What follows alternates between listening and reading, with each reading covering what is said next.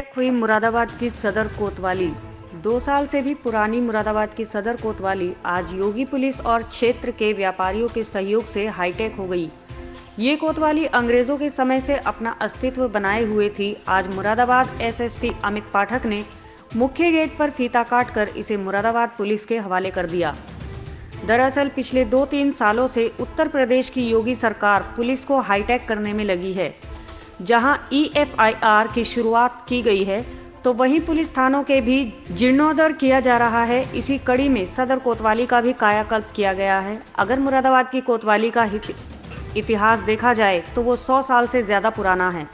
इसका उद्घाटन करने के बाद एसएसपी ने बताया कि कोतवाली को पूरी तरह से हाईटेक किया गया है, क्योंकि इस इस क्षेत्र में व्यापारी वर्ग है और घनी आबादी है। इसीलिए क्षेत्र के मुख्य चौराहों पर सीसीटीवी कैमरे लगाए गए हैं और दैनिक कार्य को भी कंप्यूटराइज किया गया है। तो सौ साल से ज़्यादा की पुरानी बिल्डिंग है और यहाँ पर इसमें जो इंस्पेक्टर, यहाँ पर एस एच हुए, उन्होंने इंटरेस्ट दिखाया। यहाँ के व्यापारी आम नागरिक बहुत ही सहयोगी हैं, सकारात्मक हैं। उन्होंने आगे बढ़ कर के एक कैमरा सिस्टम जिसमें 36 कैमरा है और हर पॉइंट पर पब्लिक एड्रेस सिस्टम भी है। ऐसा करके सबसे पुराना व्यस्त घना व्यापारिक इलाका है। जिसके सभी क्षेत्रों को, सभी रोडों को व्यापक रूप से कवर किया गया। ये कैमरे हाई रेजोल्यूशन है।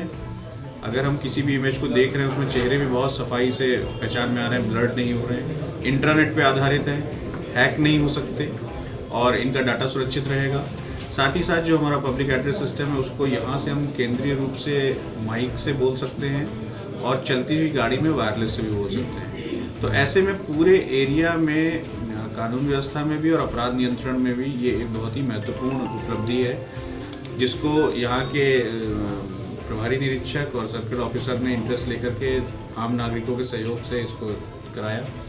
पुरानी कोतवाली बिल्डिंग बहुत भव्य है, लेकिन इधर भी जीर्ण शीर्ण हो गई थी तो उसका भी जीर्णोद्धार कराया। खास तौर पे वो सुविधाएँ जिनसे नागरिकों को लाभ मिल सके, हेल्प डेस्क, पासपोर्ट डेस्क, जो शिकायत करता थे उनके बैठने की व्यवस्था, उनके इन्फॉर्मेशन के लिए बहुत सारी भी उत्तर प्रदेश पुलिस ने कई नई योजनाएँ लागू की हैं। उन योजनाओं की जानकारी, उससे संबंधित फ्लेक्सी और boards, rotational, rotation, rotating board इन्होंने लगाए हैं।